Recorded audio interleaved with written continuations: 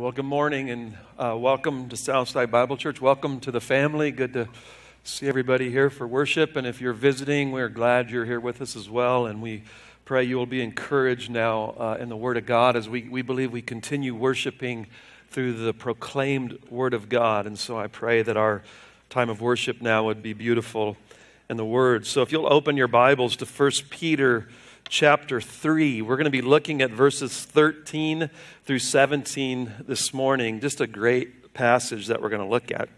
This portion of Scripture could be maybe where this whole epistle has been leading to. Peter has laid the foundation for its ex- exhortation really from the beginning. So, if I had to summarize this quickly over Peter, as he begins telling you that you're a chosen race, you're rejected by the world right now, but you've been chosen by God. You've been redeemed by the blood of Jesus Christ. You have been born again to a living hope through the resurrection of Jesus. You're now an alien. You've been set apart to holy living in the midst of an unholy world. And the purpose being is that you might proclaim the excellencies then of Him who has called you out of darkness into His marvelous light. We are called aliens and strangers in 1 Peter 2:11. We're called to abstain then from fleshly lusts which wage war against our souls. Then there's a clarion call that Peter gives to be in the world, but not of it. A call to evangelize our society and our world why we don't belong to the system and its structures and its morals and its values. It is thus a very threatening world that we are to go reach with the gospel. And our living, Peter says, is to be the instrument to proclaim the truth to this cosmos so that they might be saved. Our lives are to be the instrument. And so, this whole section of Peter's epistle that we are now looking at started in chapter 2, verse 11, all the way through chapter 3 here is how are we to live in the world with an evangelistic purpose in mind as we engage it? And I just wonder how many of us are living this way where we, we, we have this heart and we have this focus that Peter is addressing. It's so much easier to just hang out with believers and talk about what we agree on and encourage each other in it. That's a beautiful part, but, uh, but you'd rarely get persecuted doing that, and you can get very comfortable in just settling into that instead of realizing I've been born again to go shine this light into this world. So as we begin this morning, I just wanted to give you maybe a bird's eye view again and ask you are you getting this? Is it wedging you out from your comfort of not uh, intentionally engaging a persecuting world with the only message that can save their souls from eternal hell where you were headed if it was not for the grace of God in your life? Have you gotten over that? I, have been spared, I've been delivered, I now am a debtor to all men to go tell them of this grace of God that has come and invaded my life. I pray that we would have God's heart for this world. And so I wanted to begin this morning by praying because we can only be these kind of people by God's grace. No manipulation or guilt feelings will ever produce this. Only the grace of God overwhelming our hearts to say, I want to go shine this marvelous light into this world. Let's pray. Father, we come before you, and I pray that there would be many in this gathered assembly this morning who are shining the light of what you have done in their lives. I pray that they're living the way we've been learning in this epistle. And I pray that they're getting looks and people are asking them, What is the hope within them? God, I pray that you would wedge us out from our comforts. I pray that we would not just be happy to merrily go to heaven and ignore those who do not have the hope of this gospel. God, awaken us to that need. Help us to not just be about our own comforts and our own self and our own eternity. God, awaken us, please, to the need of this world, those we dwell with on a daily basis who need the gospel of Jesus Christ, and help us to not contradict this message by our lives. God, I pray that we would live lives worthy of the calling that we have received in Christ Jesus. Lord, uh, move by the power of your grace in every heart to be these kind of men, women, and children. We ask that you do that in every one of these hearts.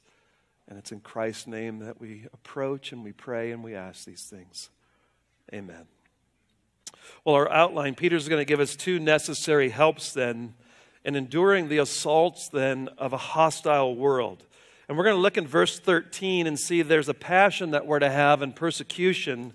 And then in verses 14 through 17, he kind of gives us a prescription uh, in persecution. What, what will help us to endure it? How should we do it? How should we be ready? And uh, he will address that in those verses. So let's take up the first point a passion and persecution. I want to read verse 13.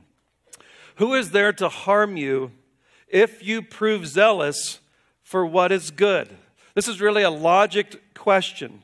Who is there to harm you if you are proving zealous for what is good? And for, for, the most part, but not always, the world loves to persecute those who are hypocrites. It's really a dainty morsel to them. They, they love it. It shows that maybe I'm okay after all because you're a fake. You're, you're no better than me. In fact, you're worse, so I'm okay. Self righteousness can go forward now. Everything feels better. Hypocrisy makes it easier on them in their rejection of Jesus Christ. And so hypocrites are going to get persecuted by this world when you are a professing Christian. When you profess Christ and fall, the world will jump on that fast. It will come and devour it and just gobble you up, snarl while it tries to take away that profession. But it is rare that they pounce on the one who's truly living out righteousness. And I mean the one who is living quietly and submissive to the government and to the bosses and to their spouses and all that we've been learning, and that they're loving the way Peter is calling. Uh, Jesus was that, and yes, he'll, you still will be persecuted. But what I am seeing in this text, he's saying if you get persecuted for being a hypocrite, that's on you. And, and someone who lives this Christ like life, he's telling you it's going to bring some persecution, but it's also going to bring people who are going to get saved. And they're going to ask you, What is the hope within you? And they're going to glorify God on the day of their visitation because of your excellent behavior. So there's going to be two kinds of responses, but the hypocrite is just going to get buried and pummeled. So let's take a look at verse 13. If you prove zealous for what is good. That's an interesting word. It's a title of when Peter wrote this of a people in that region uh, who were called the Zealots. The Zealots, they were fanatical patriots wanting to liberate, liberate Israel from all foreign rule, Roman rule. And they were willing to do it at the cost of their lives. They would murder, they would cheat, they would lie, whatever it took. They were extremely zealous for their cause, and that's why they got the name Zealots. Peter chooses that word. Peter was very much a zealot in his own personality as well. He was so zealous for the Lord early on, quick to step out, quick to jump up for the Lord, and, and he still is, even as he writes this message. So, one who is zealous for Christ, who lives this out with his whole being and all of his passions, all of his life. You're not playing at this. This is, this has taken over my heart and my life. And there are many in the world who appreciate that. They just love when someone is zealous for something. The phonies and the hypocrites, you're, you're going to be in for it. That could be why many of us won't open up our mouths at work or school because a riot would break out if you told someone you were a believer. And so we need to live lives that show the zealousness that we have for our God. So when we speak of these things, they say, Yes, I've watched your zeal for the truth of God. Be zealous, Peter says, for what is good. And so our context is, if you'll go back to verse 8, to sum up, be harmonious, sympathetic, brotherly, kind hearted, and humble in spirit. So be those kind of people who are sympathetic and brotherly and giving yourselves to each other, not reviling in verse 9 when you get reviled, not slandering, but living in glad submission to the authorities that God has placed over you. Be zealous for the things that we've been learning in Peter. Go hard after this spirit and life before a watching world. They're watching. And as you will be zealous and prove zealous for this, Peter's saying, I want you to be zealous for what is good then. Go after being a, a one who does good to men and mankind. Be one, a do gooder is the call. Be zealous to go live these excellent lives of modeling Christ to this world. That is to be the passion of the believer. In verses 14 through 17, then, I, I need some help. I, the prescription that he gives us now in persecution. And the question is how, how do we endure the persecution of this world? When we want to, uh, good days and the good life that we looked at last week, I, I want the good life, and being persecuted doesn't feel like the good life. How do we endure this? How, how, how are they going to get saved by me living this way? What kind of a life is going to cause someone to literally ask me, What is the hope within you? What kind of life is going to bring someone to ask that? And so let's try and maybe get our arms then around this current section. And as I look at the verses before us, let me just read them to you starting in verse 14. but even if you should suffer for the sake of righteousness, you are blessed. And do not fear their intimidation and do not be troubled, but sanctify Christ as Lord in your hearts, always being ready to make a defense to everyone who asks you to give an account for the hope that is in you yet with gentleness and reverence. And keep a good conscience, so that in the thing in which you are slandered, those who revile your good behavior in Christ will be put to shame. For it is better, if God should will it so, that you suffer for doing what is right, rather than for doing what is wrong. And as I look at this, I see two really glaring things that Peter is after. And I think they hold the whole section together. And so once you understand those two foundation points, the other four just kind of hang on them. So I'm going to spend most of the morning on these two points, and the other four will just kind of wrap up in summary at the end of this morning's message. So let's start looking at the two foundation stones of Peter's point. Namely, how do you endure persecution in such a way that people will glorify God when they get saved because of the way you're living your life? So look with me in verse 15 the first thing I want you to see is to sanctify Christ as Lord in your hearts. This is a call to hallow. Hallowed be thy name in the Lord's Prayer. It means to sanctify, to, to sanctify Jesus as Lord in our hearts. So, what is it to sanctify? Well, it means to be holy, it means to be set apart, it means to be hallowed. And so, if something was set apart in the Old Testament, it was set apart for a sacred use. Everything that was used in the temple was called holy because it was used only for that part in the worship of Israel. And so, it's set apart, it has a special place, it's consecrated, it's holy. And so, we are to set Christ apart in our hearts. It's a call to regard Jesus as the holiest of all beings, it's to put him above everything. He's, he's above all, he's off the charts. He's infinite in all of his attributes. He's separate, he's holy. And it's, it's to put Jesus then in your heart in the absolute highest place. There should be nothing in your heart that goes higher than Christ. So if you want to get this persecution, you got to begin with Christ has to have the holy place in your heart. He has to have the place that nothing in your life is higher, more of a desire, more that you're after than Jesus Christ. He must have that place. He must be the most esteemed person in your life. He must be the most loved of all in your heart.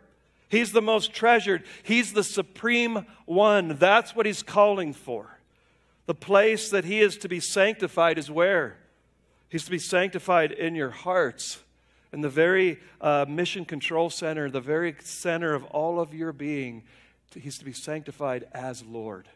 He's to be set uh, in your heart. Jesus Christ is Lord. He is the one, the King of kings and the Lord of lords. King Jesus. He's the one that we bow before and He has our full and our total allegiance. You are Lord. I have set you apart. I bow to you. I follow you. I serve you. I believe you. I worship you. You have been set apart, Jesus Christ, consecrated in my heart as holy. You're the sovereign ruler of the universe, and I have that consecrated in my heart. Does Jesus Christ have that place in your heart?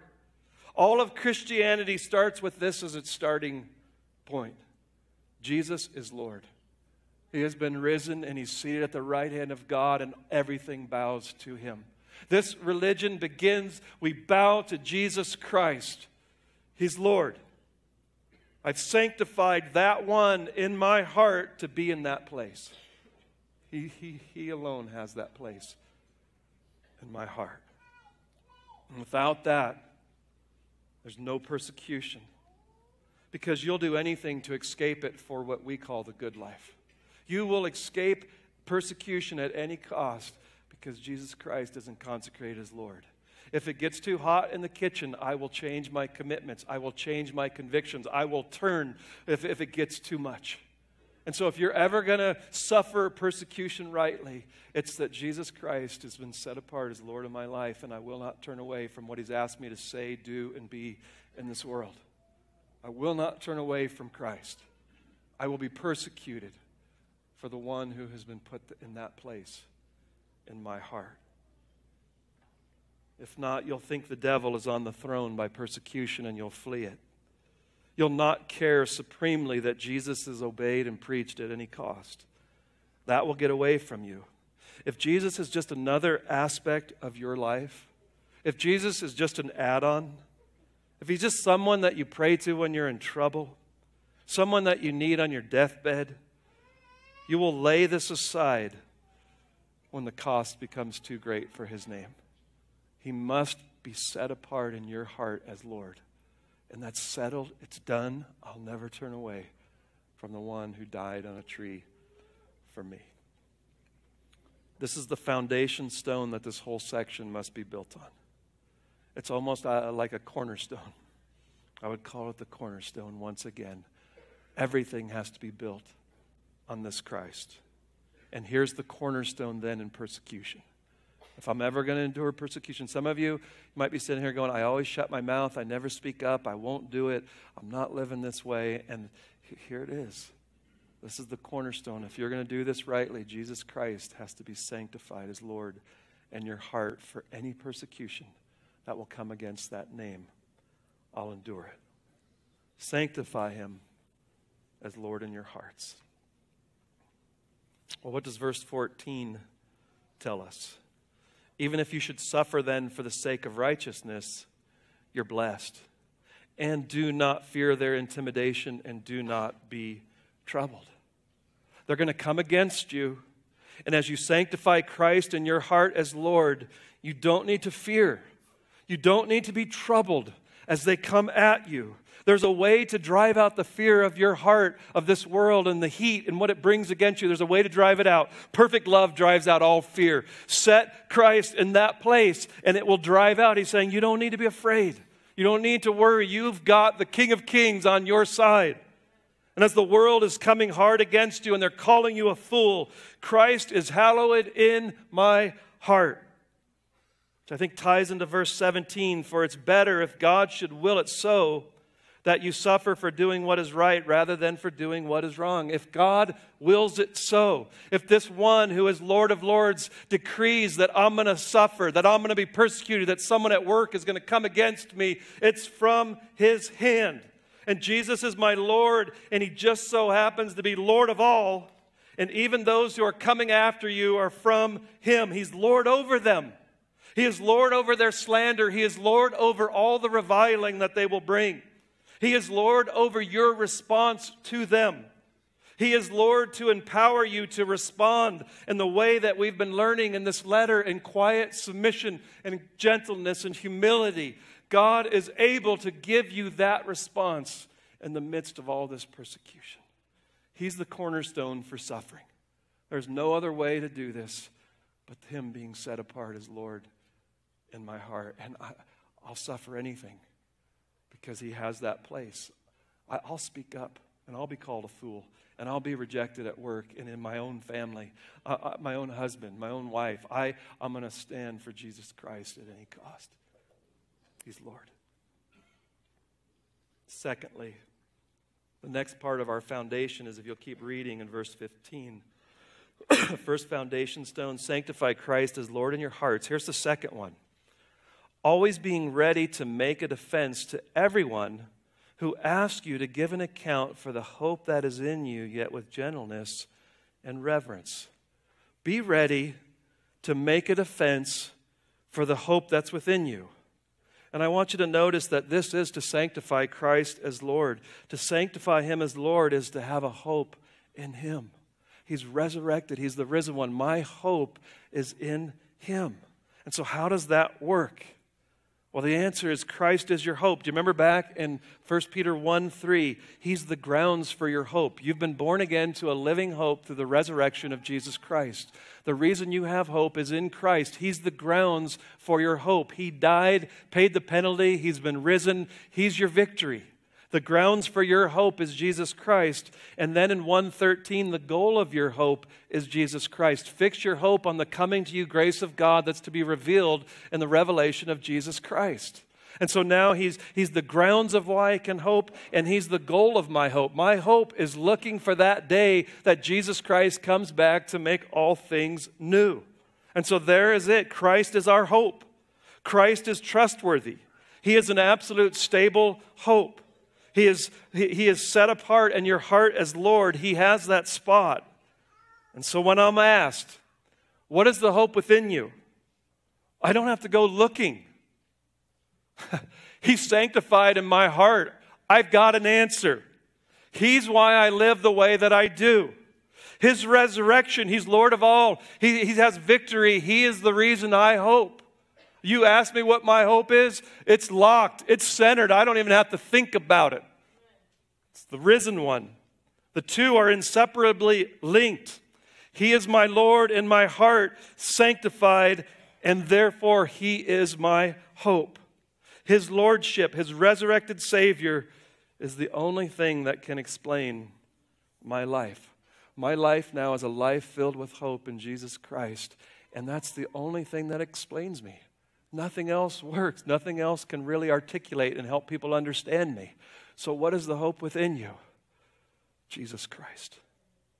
And when I live and respond this way in a hostile world, fearless in verse 14, I'm not troubled, willing to not be in the inner circle, willing to be persecuted and mocked and reviled, to show the world that Christ is the Lord of my life to show the world that He has filled me with hope. They're going to see it. They will see a man or woman or child who lives this way, and someone's going to ask you, What is your hope? And they might not use those words, but that's what they're asking. What is the hope within you? Do you see what, what a life that must be for someone to ask that? Do you see how these two things hold this whole text and this whole letter and maybe the whole Bible together? Don't miss this. The main point of the Bible, all of its history, is a God who has a desire and a goal to be hallowed in this universe and to be put on display and worshiped and glorified. That is, that is to, to set him apart. And, and he does that by setting Christ apart in our hearts. And then, secondly, the means he does it is by us hoping in him. The way he's glorified is us hoping in this God. That's the glory of Christianity, not us hoping in ourselves like every cult. We hope only in the cornerstone. We hope only in Him, and that is what Peter is teaching us. It's that this uh, kind of a hope is going to have a very peculiar life attached to it. If you have this hope that you've been born again to and that you have fixed your mind waiting for, he's saying you're going to have a different kind of life. You can't live like a world who believes you got to get it all now. Grab the gusto now or you won't get anything. You've got to look different. You have to be set apart. And there has to be people who are going to be watching saying, what, What's the difference? What's the hope? Do you realize the life that we're being called to live in Peter? It's because Christ is sanctified as Lord in my heart, which is seen by my hope being worked out in a different way. And as the world watches, they're going to scratch their heads and go, huh, I look at everyone else at work, I look at everyone else in this classroom, and I'm watching everyone else in my house, and they just don't seem to be like you. There's something different. What is it? They're, they're not bound by Fridays. I, these crazy Christians come in here on Mondays and they're just as happy as they are on Fridays. TGIM. Thank God it's Monday and they don't seem stressed about money and having enough to pay their bills. They just don't seem like a, they're chicken with their head cut off. They, they're trusting, they don't worry, and they're not trying to accumulate enough so I can finally be secure because my security is in my hope. There's something different. They don't seem to have to be accepted by everyone. I'm already in the inner, inner, circle. I'm already accepted. And they just don't seem to be craving the inner circle like everyone else. They don't smooth up to the boss, but they work harder than anyone else. They're happy when other people get promoted ahead of them. They endure ill treatment. They don't laugh at the dirty jokes. They don't find their identity in their children, but they love them so deeply. And as I watch these people, what makes them tick?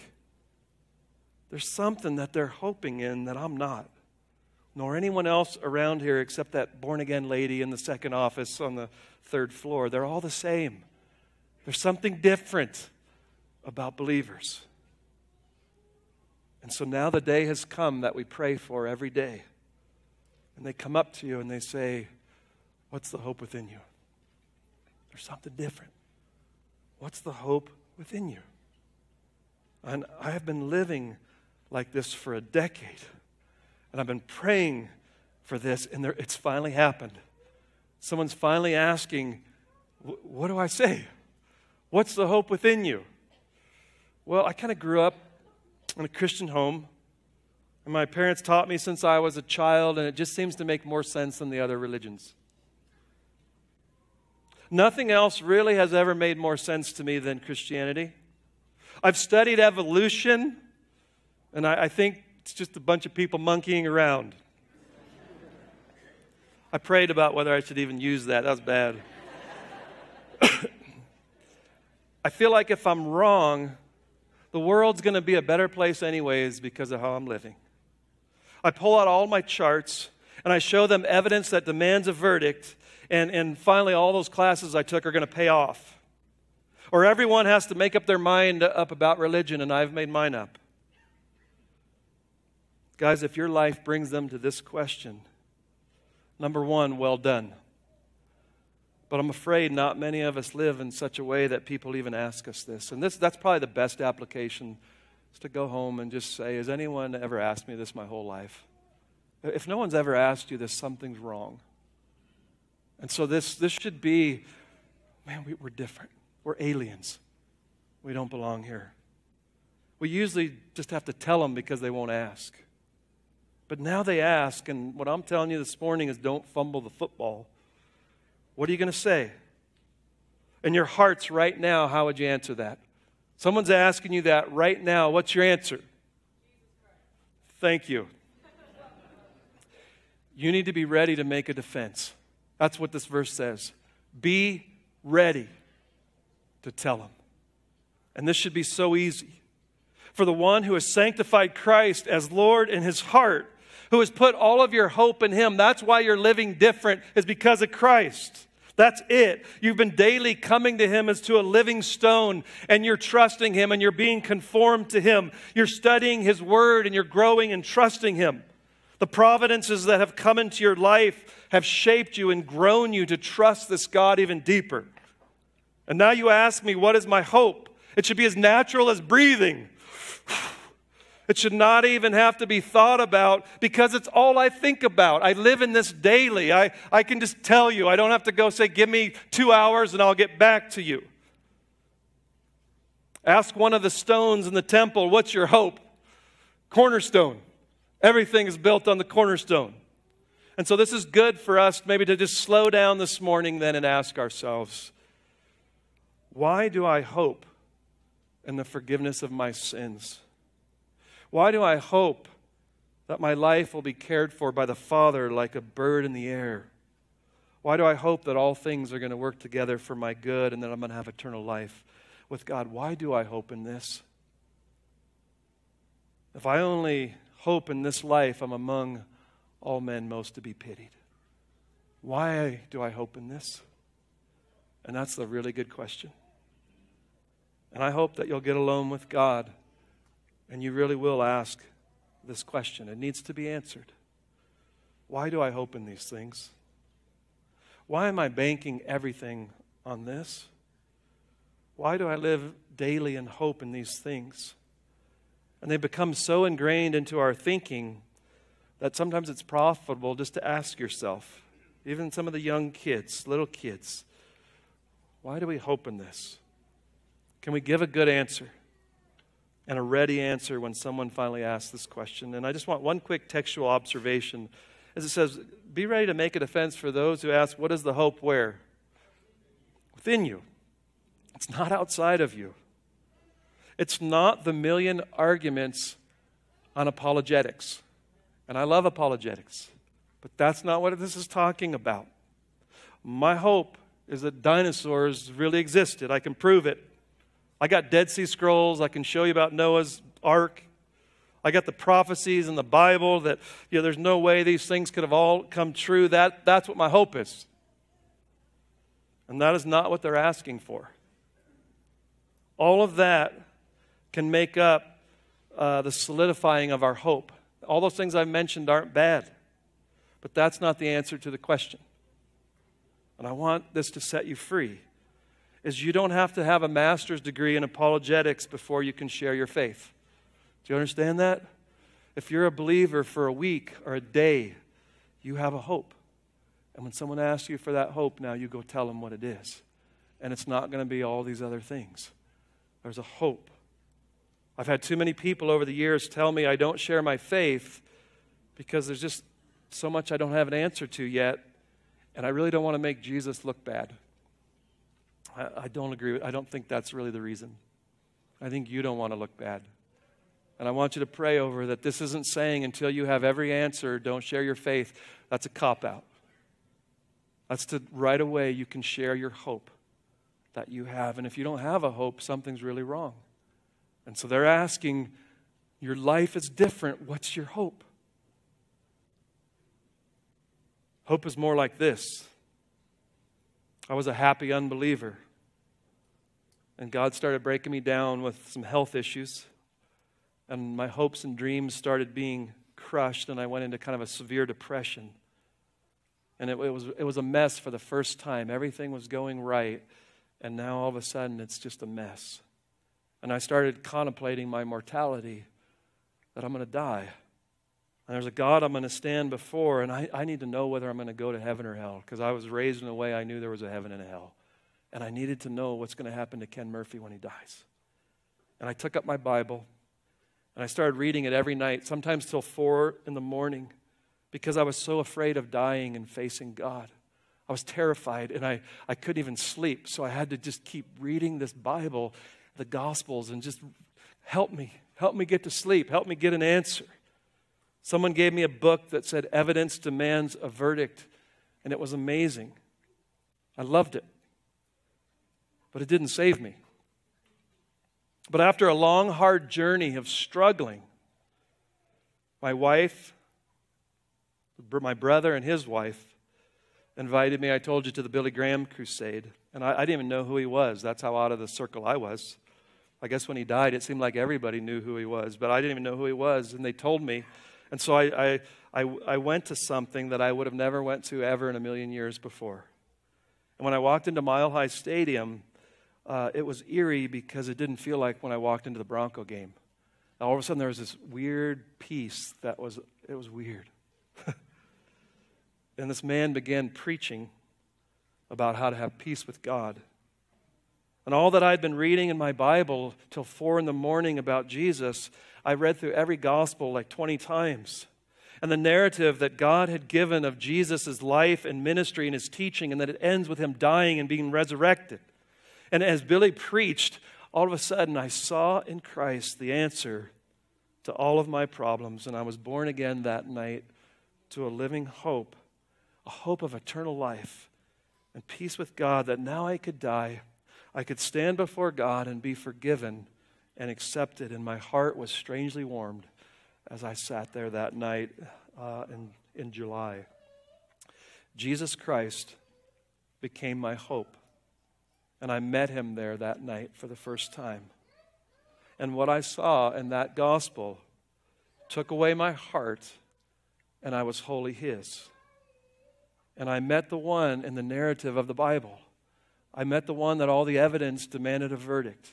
And all these things, finally, I could see now the glory and the beauty of Christ. And when I tell an unbeliever that, that I've seen the glory of God in the face of Christ, they're actually fascinated by that answer because that is what they're asking. What is the hope within you? I had a young man one time I met with him, and he was a genius, and he was sharing with me all the reasons why uh, there can't be a God. And I said, My problem is I've met him, I, I know him. I was there when he put the ring on my finger, called the Holy Spirit. And now he alone is my hope, and he's the Lord of my life and He's the reason I live the way I do. And He can be yours as well. Amen? And how are we to share that? If you'll look in verse 15, he says, with gentleness and fear. And so now, instead of going around humiliating everybody, putting them in headlocks, making them look stupid, showing why their logic is a joke, and just pounding them, he says, You're now to do this in a spirit of gentleness. There's a meekness in the way that I'm going to share this beauty of Jesus Christ to people. And so, a call to do it with gentleness and with fear, and I think it's fear of God. And I think as I share this, I better speak what God says is true in this gospel. It's not what I think or what I hope or what I wish it was. So I'm going to share it with gentleness and with fear to tell them exactly what God says is true. That's my I'm not worried about the fear of them persecuting me. I'm worried about the fear of not telling God's truth correctly. And you know what this will produce? Go back to verse 13. It will produce a zeal.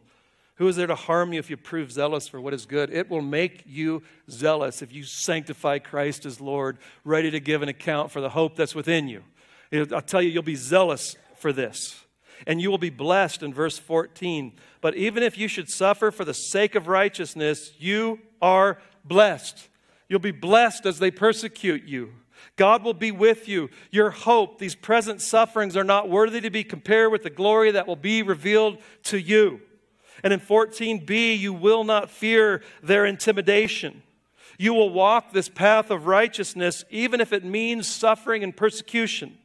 This path, God will turn it for good and for His glory.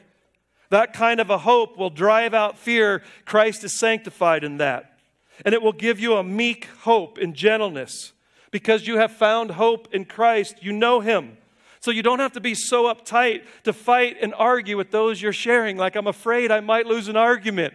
I don't have to fear that because my hope is in God, not in my arguments, not in my persuasive preaching. God raises the dead.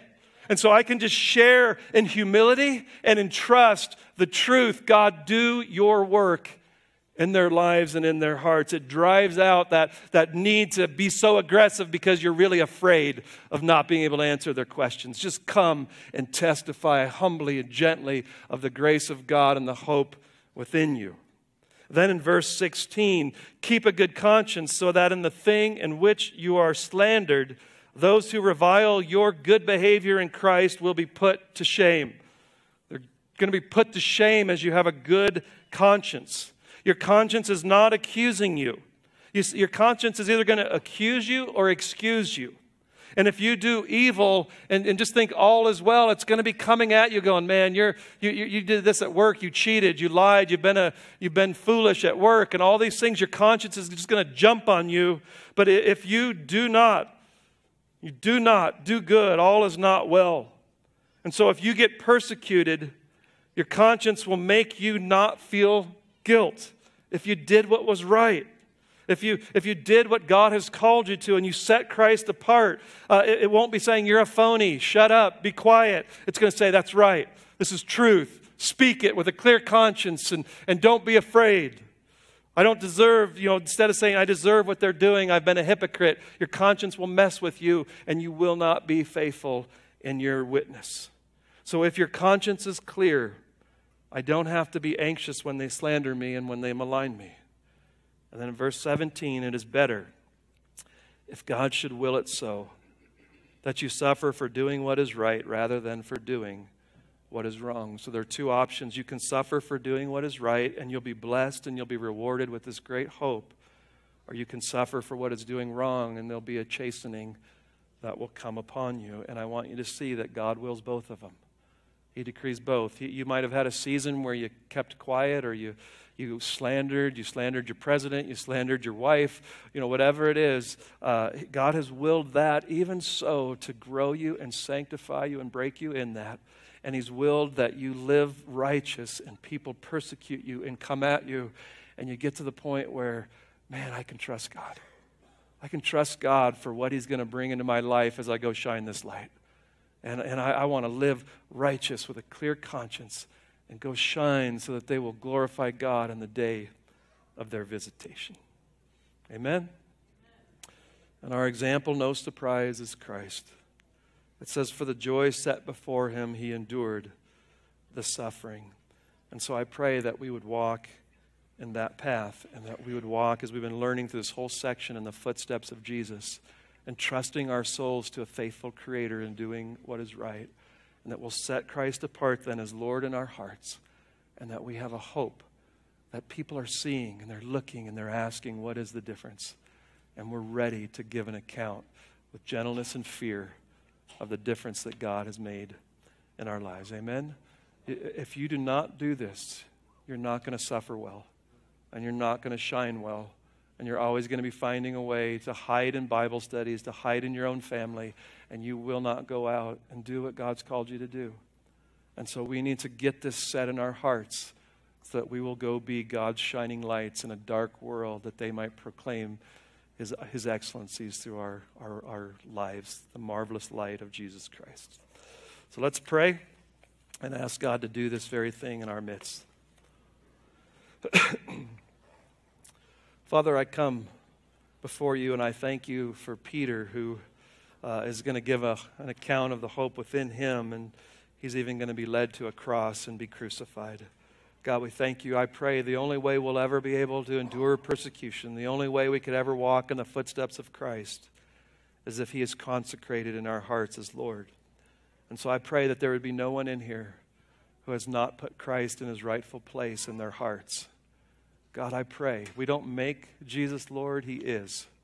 And I pray that we would consecrate that in every heart.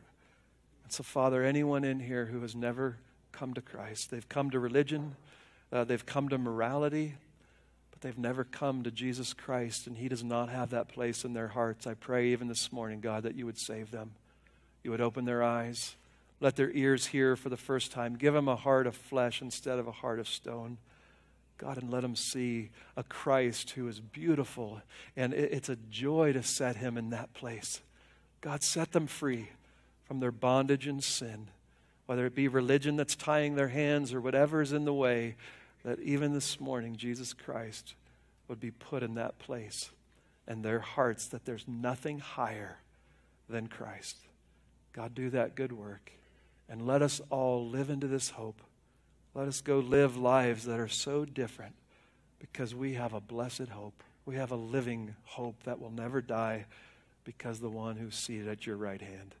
God, let us live different lives. Let us not be worried and anxious and fretting in this world, but let us be children in the palm of our Father's hand. God, do your mighty work within us. We, we're never going to put you on display by being anxious. God, help us to be settled in this beautiful truth and that you'll use it in a mighty way to, to have those uh, glorify you, that these glorify you in the day of the visitation because of all this excellent behavior among the saints in this body. God, I thank you for them. Let their lights so shine before men in such a way that they will see their good deeds and glorify their Father who's in heaven. God, thank you for this. And it's in Christ's name that we do pray. Amen.